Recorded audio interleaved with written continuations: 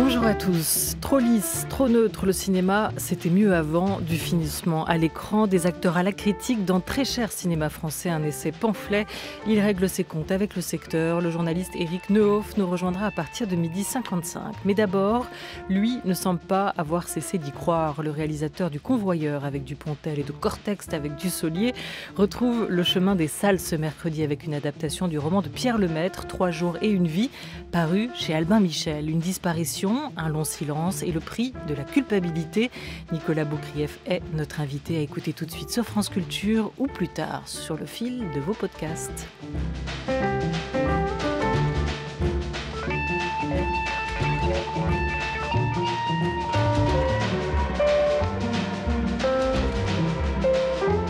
La grande table. Olivia Gesbert.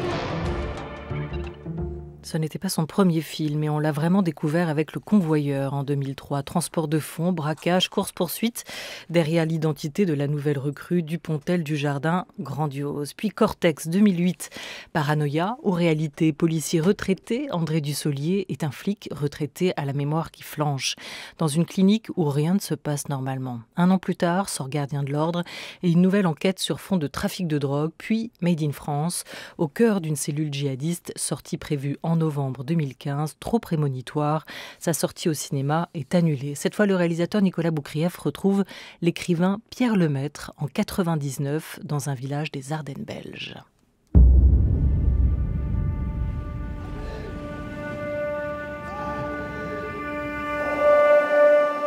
Merci à tous pour votre présence. En l'état actuel de l'enquête, rien ne nous permet de penser qu'il s'agit d'un enlèvement. Avant tout, nous devons nous assurer que l'enfant ne s'est pas perdu. Je vous demande la plus vive attention lors de votre avancée. Bon courage à tous. Vous croyez à l'enlèvement, vous? Peu importe ce que je crois. L'important, c'est que tout le monde y pense. Personne sait où il est, je l'ai cherché partout. T'inquiète pas, on va le retrouver.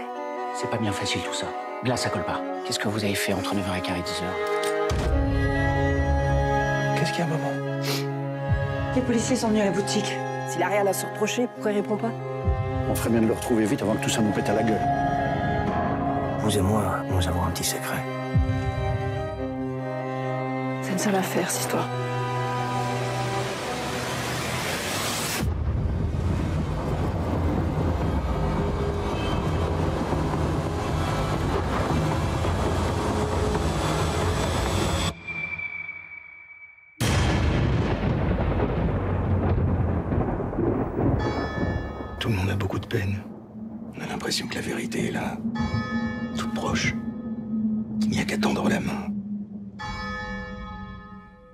Bonjour Nicolas Boukrieff. Bonjour. C'est une sale affaire cette histoire, dit une habitante de ce village du Nord, décor du drame. Difficile de lui donner tort. Hein Ah, clairement, oui. Mais avec Pierre Lemaître, euh, je dirais qu'on est assez coquille du fait, j'ai l'impression. oui. Parce que sa littérature est, est assez construite sur des sales affaires, pourrait-on dire entre guillemets, je trouve. Pas votre cinéma? Euh, ça dépend des films. Euh, je dirais que le précédent, La Confession, avec Romain Duris et Marine Vact, c'était plutôt une belle affaire. Euh, puis si on remonte un peu, Made in France, c'était plutôt une très sale affaire de tout point de vue. Euh, donc voilà, après, je ne veux pas remonter dans le temps, mais ça dépend des histoires. Un cinéma noir, un cinéma polar qui vous convient quand même bien, un genre à- auquel vous vous êtes attaché euh, ces dernières années. C'est pas pour rien que Pierre, Pierre Lemaitre vous a contacté, vous. Je suppose. Ce qu'il m'a dit, en fait, qui m'a fait très plaisir, euh, parce que on est beaucoup en France, on est ce qu'on a fait. On vous voyez, on, vous contacte pour faire ce que vous avez déjà fait en général. Et, parfois, c'est un peu- lourd comme proposition par rapport à ce qu'on a pu réaliser auparavant. Euh, après le convoyeur, par exemple, on me, proposait beaucoup de, scénarios de braquage, mais je venais d'en faire un. Donc, euh, quel intérêt? Ce qui m'a beaucoup plu et, touché dans ce qu'a dit Pierre quand il m'a contacté, il m'a dit je viens vous voir parce que vous mettez, vous faites du, film noir plus que du polar et, vous faites du film où les caractères euh, entraînent l'action et pas l'inverse. C'est pas des, des- des films mécaniques de genre avec des personnages pantins, mais c'est tout à fait l'inverse. Et, et comme c'est effectivement ce que j'essaie de faire, en m'inscrivant, en essayant de m'inscrire dans une vraie tradition du cinéma français où, le film noir a été très longtemps un genre roi hein, du cinéma français, chez Duvivier, chez Renoir, chez Clouseau, jusqu'à Claude Miller et Garde à vue. J'étais très heureux qu'il il aborde sous cet angle et, et ça m'a donné évidemment très très envie de lire son scénario. Et alors ce film, pour vous, c'est une commande au sens noble du terme et c'est une rencontre. Pierre Lemaitre vous écrit aussi après une projection de La Confession, votre précédent long, parce que vous écrivez tous vos films, je vous propose de réaliser un scénario que vous n'aurez pas écrit. Ce n'est pas un paradoxe ou ce n'en est qu'un en apparence, c'est parce que vous êtes un auteur que j'aimerais que vous acceptiez de vous emparer de ce récit. Ce film, c'est le résultat de la rencontre entre deux auteurs, réellement Absolument. D'ailleurs, quand on, s'est proposé euh, à l'avance sur recette, pour obtenir l'avance sur recette, que nous n'avons pas obtenu, ce, qui n'est pas très surprenant non plus, mais toujours est-il que, euh, j'avais dit, on va présenter le film comme un film d'auteur avec un S. Euh, c'est possible. Et c'est vrai que l'univers de Pierre est un univers tellement structuré, tellement fort, tellement habité, tellement humain et émouvant, enfin en tout cas tel que je l'ai ressenti, puis je suis pas le seul, parce qu'il y a quand même des, centaines de milliers de lecteurs qui pensent la même chose, que le compléter et, l'amener à, une traduction à l'image me demandait forcément de ne pas être juste un simple exécutant, parce que sinon le film aurait été plat, tout simplement.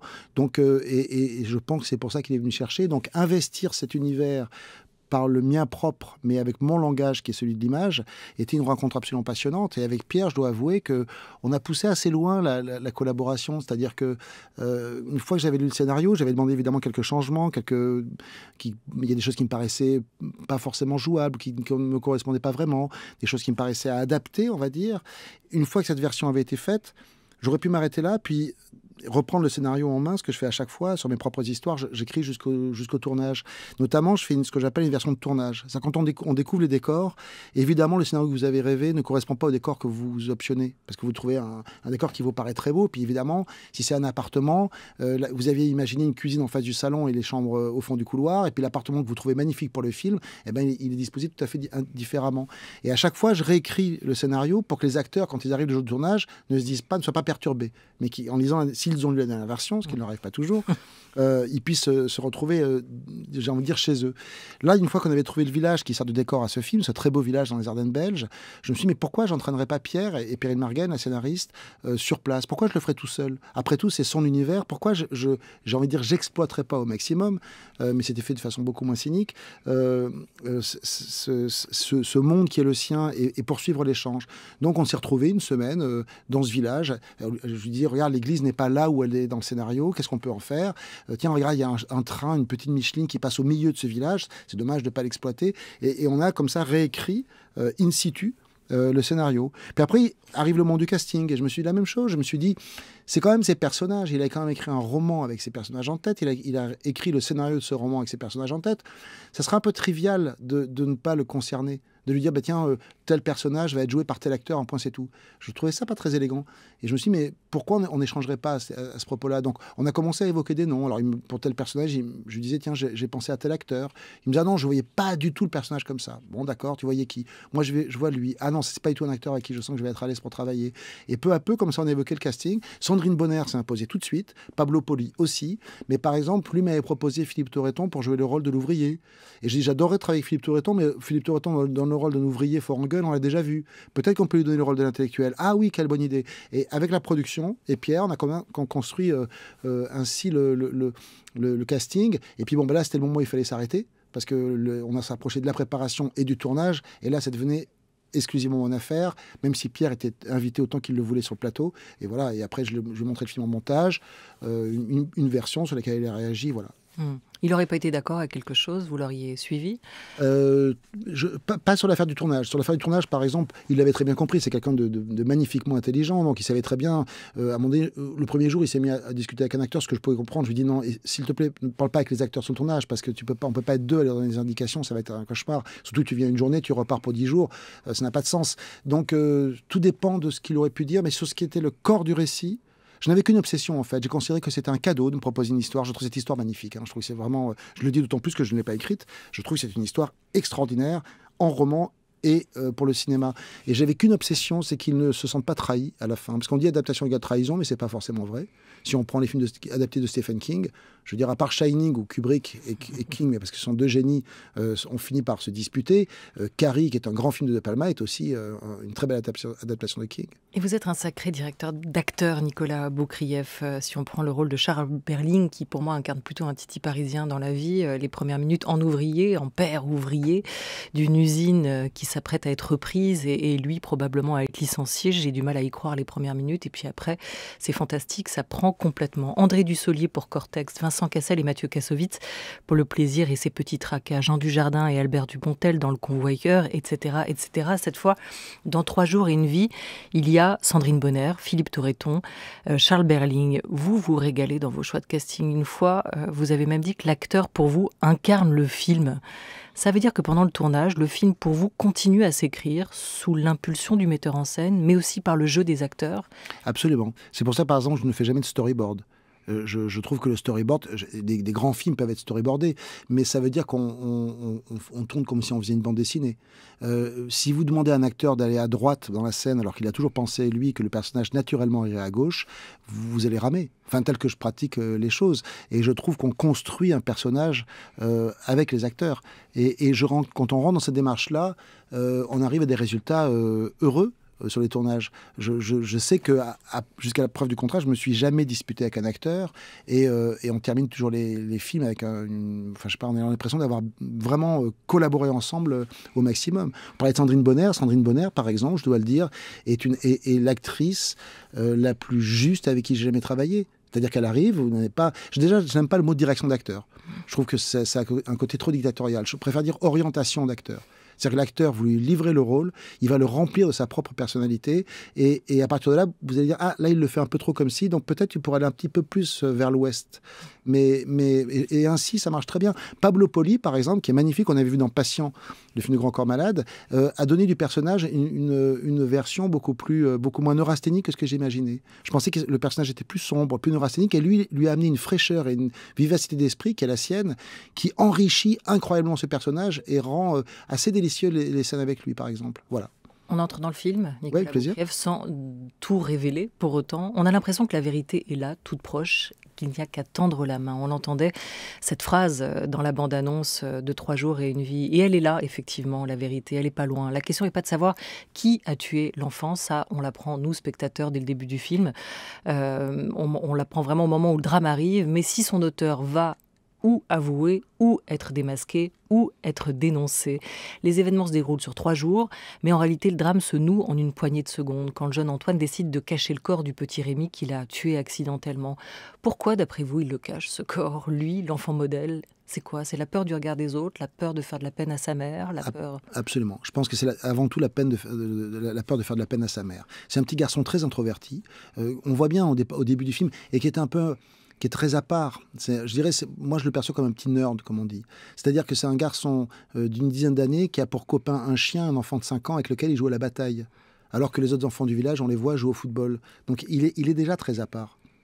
il est déjà il a un problème. Et quand survient le drame, je pense que. je me suis toujours dit, c'est exactement comme quand on était enfant, on a tous vécu ça. Je ne sais pas, on fait une tâche sur le mur.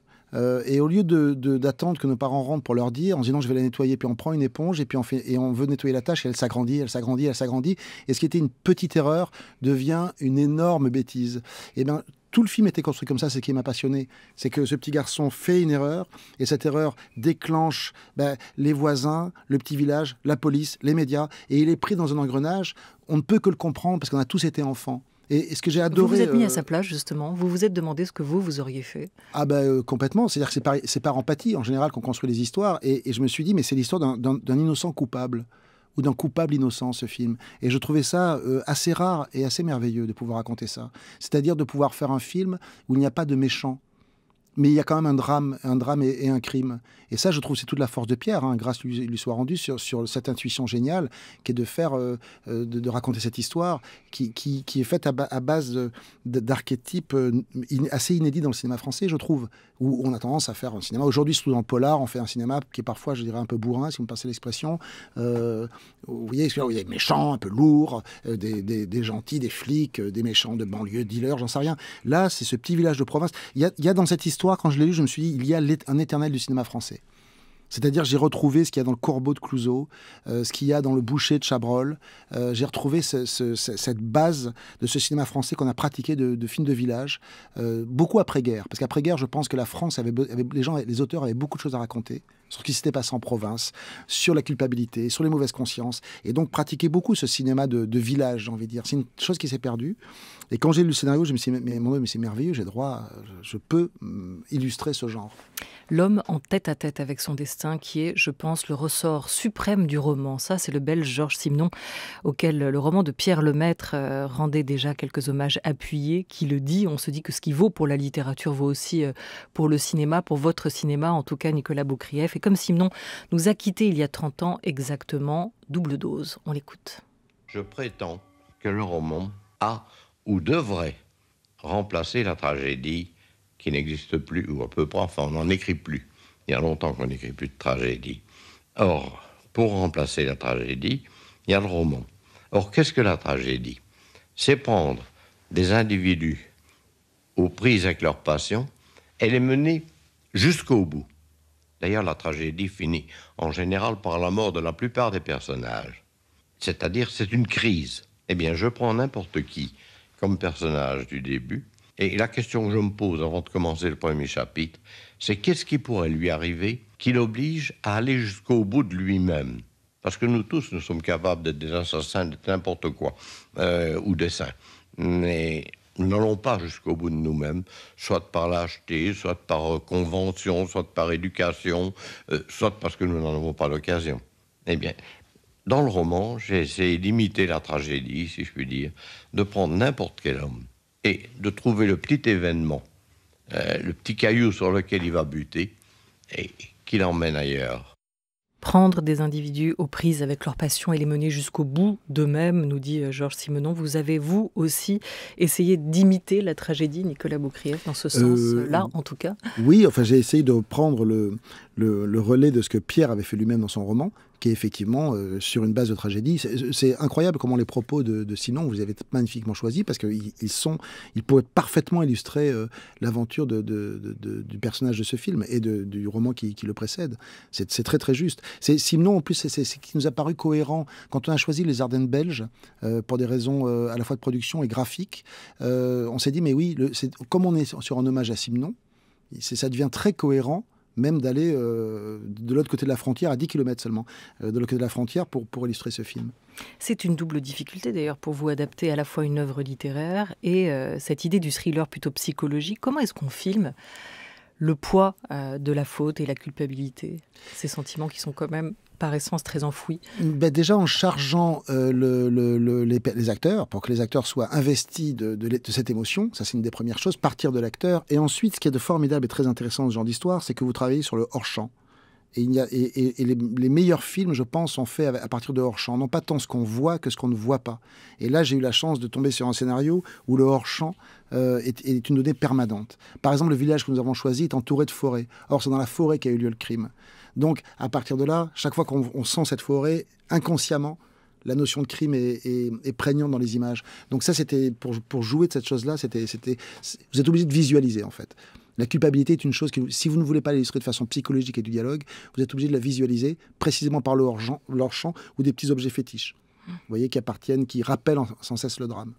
Vous êtes un être culpabilisant, vous, Nicolas Boucré? Euh, Raisonnablement, comme toute personne euh, vivant en France euh, de tradition judéo-chrétienne, j'ai envie de dire. Ouais. Et à propos de tradition judéo-chrétienne, l'église que vous évoquiez tout à l'heure, elle est bel et bien au milieu du village. Hein, cette fois encore, les habitants communient lors de la messe de minuit. La faute d'Antoine devient péché originel. La tempête est une forme de réprobation divine, ou au contraire, à chacun de l'interpréter. il est beaucoup question de compassion, de pardon, jusqu'au médecin qui dit à Antoine Je ne te juge pas, toi ne me juge pas, toi non plus. Dans cette histoire, chacun fait comme il peut. Il y a cette influence-là aussi qu'il faut souligner dans l'histoire pour vous? Oui, je, pense que Pierre, euh, le maître qui est, euh, je crois, très, euh, enfin, qui se prétend farouchement athée, euh, est traversé de beaucoup plus de contradictions qu'on ne le pense sur ces matières. Mais ça, je n'irai pas plus loin parce que je, n'ai pas parlé avec lui, donc je ne voudrais pas d'un coup me répondre sur les ondes en disant que c'est un, croyant contrarié. Mais je, je voilà, j'avoue que c'est quelque chose qui m'a parlé. Et comme moi, mon, mon, mon, mon propre travail euh, précédemment avec Made in France, euh, sur le djihadisme, puis après avec la confession, sur euh, d'après Béatrice Beck, d'après Morin prêtre, j'étais un peu dans ce genre de, de, réflexion. Ça, ça rejoint assez facilement mon travail. Peut-être qu'en fait, il n'attendait qu'une chose, Pierre Lemaitre, c'était d'être démasqué sur ce point-là aussi, hein, comme son personnage pourrait être libéré de. Peut-être, il faudra, faudra, faudra, le creuser cette question. Bon, merci d'avoir tendu cette perche. En tout cas, il est midi 21 sur France Culture. On est avec le réalisateur Nicolas Boukrieff. France Culture. La Grande Table. Olivia Gesbert. Vous êtes un grand cinéphile, Nicolas Boukrieff, en plus d'être un, réalisateur euh, aujourd'hui. Vous avez raconté le cinéma avant d'en faire. Vous avez co-créé un, magazine, Starfix, spécialisé dans le cinéma fantastique et d'horreur. Vous avez vous-même animé euh, le journal du cinéma et mon ciné-club diffusé sur Canal. Et aujourd'hui, vous publiez avec, euh, avec Lydia Boukrieff 100 grands films pour les enfants, de Max Linder à La Tortue Rouge. C'est aux éditions Grunt avec Arte Édition. Dans ce livre qui euh, évoque euh, aussi en grande partie vos coups de cœur. Vous écrivez qu'il n'y a pas un cinéma du passé et un cinéma du présent. Il y a seulement les films qui ont une personnalité et ceux qui n'en ont pas, que le vrai cinéphile est toujours curieux. Vous êtes toujours et encore curieux de tous les films, vous, Nicolas Boukrieff Ah, totalement, oui, bien sûr. Je passe ma vie à regarder des films. Ça, ça, ça m'a pris à l'adolescence euh, et j'en ai fait mon métier, ma vie. Et, euh, j'ai épousé euh, une, femme qui est aussi cinéphile que moi, parce que je dois avouer que auparavant ma vie affective était systématiquement brisée par cette passion. donc voilà, donc j'ai épousé la monteuse de mes films, avec laquelle nous nous éclatons à voir énormément de films et essayer de rendre ça utile à la fois dans notre travail, dans le livre qu'on a publié. Quoi. Alors dans Trois jours et une vie, c'est un un, enfant euh, et sa culpabilité, euh, son péché originel qui est euh, mis en scène. Est-ce que pour vous, le cinéma aussi, cette passion du cinéma remonte à l'enfance? On va écouter les mots de François Truffaut à ce sujet. Truffaut qui est présent dans votre livre pour et par son film L'argent de poche sorti en 76. François Truffaut, vous avez dit une fois, j'étais un enfant qu'on laissait dans un coin et qui rêvait. Je le suis resté. Oui, c'est vrai. Je crois que certainement, ce qui attire certains garçons vers le, vers le cinéma, c'est un, besoin d'évasion absolue. C'est parce que la littérature est une bonne évasion, mais le cinéma est une évasion encore plus forte. Et j'ai l'impression que j'ai commencé très tôt à m'évader dans les films. Et puis finalement, on porte ce monde-là avec soi. Alors souvent, on m'identifie à, mes camarades des cahiers du cinéma, euh, Rivette, Chabrol, Godard, etc. Et en fait, je me sens plus proche d'une autre famille qu'on n'a jamais définie, qui comprend euh, Philippe de Broca ou Jacques Demy. Et je crois que nous avons ce point commun de faire du cinéma pour prolonger justement une enfance euh, comme ça solitaire parce que faire un film, c'est merveilleux de ce point de vue-là. Orson Welles a dit c'est le plus beau jouet électrique du monde, mais c'est vrai, c'est une façon de refaire un monde à son idée. Pas forcément tel que l'on voudrait qu'il soit, mais en mélangeant ce qu'on pense qu'il est, ce qu'on voudrait qu'il soit, en prolongeant ce, ce monde de l'enfance. Je ne sais pas si vous étiez, vous, un enfant solitaire, Nicolas Boukrieff, mais euh, il y a cette idée de, recomposer ce monde-là aussi. Oui, c'est amusant d'ailleurs parce qu'il cite, Philippe de Broca et il cite Jacques Demy, qui sont tous les deux cités dans ce livre. Euh, Jacques Demy pour Podane et Philippe de Broca pour L'Homme de Rio. Donc euh, il, fait une, enfin, il se fait une parenté qui, est assez réelle, qui est, qui est quels sont les films susceptibles de séduire nos enfants? Et il y a, d'autres types de films qui sont plutôt destinés aux adolescents. Et, dans mes amis cinéastes, et j'en ai beaucoup, je, fais bien cette part des choses. Je me dis, tiens, il y en a certains qui essayent de refaire le cinéma qu'ils ont vu enfant, de, faire ressentir les émotions qu'ils ont eues enfant, alors que d'autres sont davantage tournés vers les émotions qu'ils ont ressenties adolescents. Et c'est pas tout à fait les mêmes. Hum. Il y a des films qu'on peut montrer euh, aux enfants qui évoquent ces blessures de l'enfance. C'est-à-dire qu'il ne faut pas forcément euh, surprotéger ah euh, les imaginaires en montrant que des, en fait, le livre films tout se passe bien. Excuse-moi, je vous coupe, j'avais compris votre question. Pardon. non, mais je suis assez bavard, désolé. non, mais en fait, le livre est parti de constat de s'apercevoir qu'aujourd'hui, ce que regardent les enfants est très, très formaté, voire euh, c'est de la bouillie. Et qu'il y avait peut-être à, raconter l'histoire du cinéma aux enfants d'une autre façon, non pas euh, académique, mais à partir de ce que nous, nous avons montré à nos enfants. Ben, donc les blessures de l'enfance, par exemple, l'enfance nue de Piala, est un film qui, contre toute attente, peut bouleverser euh, d'une façon très saine des enfants de 6-7 ans. Voilà, sur les enfants abandonnés de l'assistance euh, publique. Absolument. C'est un film qui est, dénué de violence quasiment et qui euh, touche énormément les enfants. Où est la maison de mon ami, de Karostami, est un film qui peut aussi vraiment toucher les enfants. Donc il y, a vraiment moyen de montrer aux enfants des films dignes, j'ai envie de dire, et beaucoup plus puissants pour eux et, et moins dangereux et malsains que beaucoup des images qu'ils consomment régulièrement. Mmh. Est-ce que c'est aussi une manière de dire euh, aux parents, il faut amener les enfants vers un peu autre chose que ce que Disney euh, leur propose euh, aujourd'hui. Parce que c'est aussi ce qui est en train de se jouer en termes d'accessibilité. On a une plateforme de streaming, celle de Disney, qui va débuter en novembre aux États-Unis, qui devrait arriver euh, début 2020 en France, qui veut concurrencer Netflix. J'imagine que vous suivez d'assez près aussi toutes ces mutations-là. les films produits par Disney, Pixar, il y a quand même des bons films aussi dedans. Oh, bien sûr, il y a des très bons films produits par Disney, Pixar, il y a des grands classiques, mais Disney, les films Disney, les films Pixar, tous les films de Marvel, euh, ils viennent de racheter la Fox. C'est-à-dire qu'ils ont Avatar, les Simpsons. Enfin, je veux dire que ça ne s'est jamais vu. 80% de ce que consomment les enfants aujourd'hui, euh, c'est du Disney. Donc on a écrit ce livre aussi pour ça, pour dire, attendez, il y a des films tchèques, des films africains, euh, des films japonais, des films chinois, des films yougoslaves, euh, des années 40, 50, 60, jusqu'à aujourd'hui. Et il y a dedans un film Pixar, évidemment, qui, qui, qui, ouvre plus l'imaginaire des enfants que, que ce que Disney est en train de préparer. Enfin, je veux dire, si tout l'empire Disney décide demain de faire des films qui sont un peu ceci ou un peu contre cela, ça sera une orientation très discrète et nos enfants vont se retrouver à consommer en permanence cette même idéologie. Il y a que dans, dans le... il y a une idéologie elle est beaucoup plus homogène qu'elle en a l'air. Elle est inconsciente. Elle est plus formatée. En je ne sais pas. Cette production Disney, Pixar Co. Pardon. Euh, je ne sais pas si elle est consciente ou pas, mais quand Toy Story 4 se termine sur des personnages qui disent ça y est, on va pouvoir vivre et s'éclater, et ils sont euh, les petits jouets se libérant des, des, des, des humains, se retrouvent dans un grand parc d'attractions. Euh, moi, je trouve que ça me fait un peu froid comme, dans le dos comme, comme fin de film, si vous voyez ce que je veux dire. Alors, il y a quand même euh, Blanche-Neige hein, euh, de, de, Disney dans. Oui, non, parce qu'il y a, Blanche-Neige, il y a L'île de la jungle, il y a Ratatouille de Pixar. Non, il ne s'agit pas de dire que Disney n'a pas non, fait non, des chefs-d'œuvre. Voir ce que vous aviez sélectionné, mais évidemment, c'est pas les, les tous, tous les films ou les 200 films présents ne sont pas de Disney. Juste un mot d'un que vous avez choisi et sur lequel vous insistez beaucoup, c'est le petit hérisson, le hérisson dans le brouillard. Pourquoi ce film de Norstein? Ben, Le hérisson dans le brouillard, parce que c'est un film qui a été, quand il, est, apparu sur les écrans en 80, il est devenu un incroyablement connu et il, a, il a totalement disparu, comme beaucoup de films aujourd'hui où la cinéphilie devient rare. Le Hérisson dans le brouillard, ça dure 11 minutes, ça se trouve en un clic sur Internet, ça se trouve sur YouTube en VF, parce que ça se trouve aussi en DVD. C'est important que ce soit accessible. Ah, c'était très important et je, je, conseille à tous les parents et voire aux adultes, même sans enfants, de regarder ce soir Le Hérisson dans le brouillard avant de s'endormir. Ils font des très beaux rêves. Merci beaucoup à vous, Nicolas Boukrieff. Trois jours et une vie, adaptation euh, du livre roman de Pierre Lemaitre, votre film à vous, est en salle mercredi. Merci d'être passé autour Merci beaucoup à vous de m'avoir accueilli.